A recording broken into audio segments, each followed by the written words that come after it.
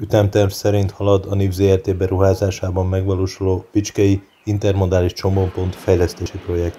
A beruházás következő lépéseként megkezdődött a Bicskei vasútállomás gyalogos felüljárójának a bontása. A beruházás első ütemének megvalósítása 2021. júniusában kezdődött, azóta kül- és belterületi munkavégzés folyamatosan zajlik.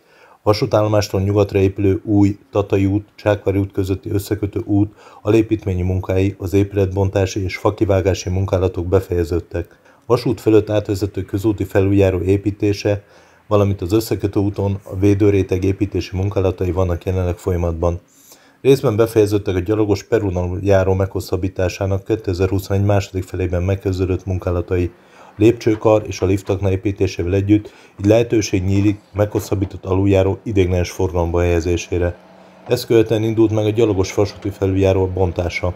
2021 második felében kezdetét vett a déli oldalon megvalósuló P plusz L parkoló körforgalom, vasúti közrakodóvágányok burkolt raktár területének és azok megközelítő útjának kivitelezése. A fejlesztéssel érintett terület csapadékvíz elvezető rendszerének kialakítása, átépítése és a közműkiváltási munkák ütemezett megvalósítása.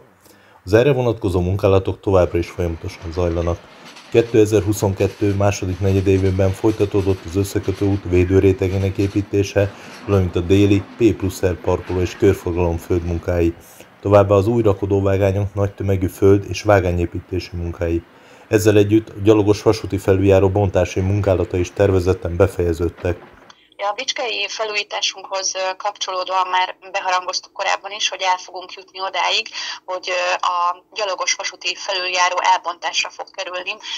Ez egy hatalmas szerkezet, és ezt úgy bonyolították le a kivitelező munkatársai, hogy a felüljárót ketté vágták két kisebb darabba, mert az volt a cél, hogy ezt a két kisebb darabot egyesével lehessen majd leemelni, és a menet az úgy folytatódott utána, hogy először a korlátokat emelték le ezekről a hídszerkezetekről, hogy érzékelni lehessen, ezek a korlátok is 6 tonna súlyúak voltak magukban, és ezek után egyesével emelték le a fehér, a felüljárónak a darabjait, hogy, hogy mi volt képes erre, egy teherdarú, egy mobildarut kellett a helyszínre hozni, ez egy 600 tonna maximális teherbírású mobildarú volt, és ez emelte le tulajdonképpen a 34 tonna darabonkénti szerkezeti elemeket.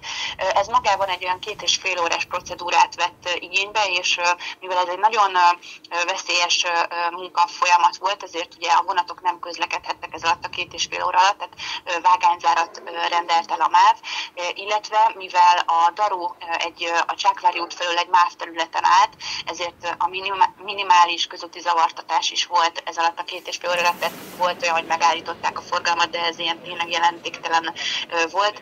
Az volt igazából a lényeg, hogy a, egy nagyon forgalmas vasútvonalról van szó, ezért éjszaka kellett ezt a műveletet végrehajtani, és nagyon fontos volt, hogy csak nagyon rövid ideig lehetett korlátozni ugye a, a vasúti forgalmat, és ez igazából ez meg is valósult.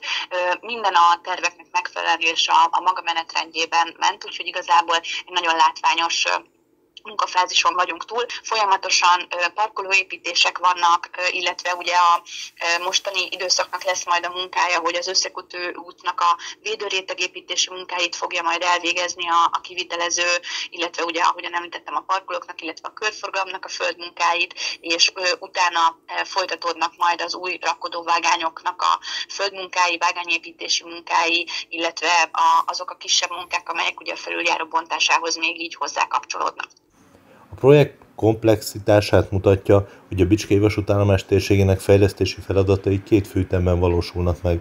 A projekt 2021. júniusában kezdődött meg, azóta kül- és belterületi munkavégzés van folyamatban. Jelenleg az első ütem munkálatai zajlanak, mely ütem várhatóan 2023. októberében készülnek el. A projekt általános célja többek között a közösségi közlekedés színvonalának, mint a szolgáltatás minőségének javítása a közlekedők igényeinek megfelelően.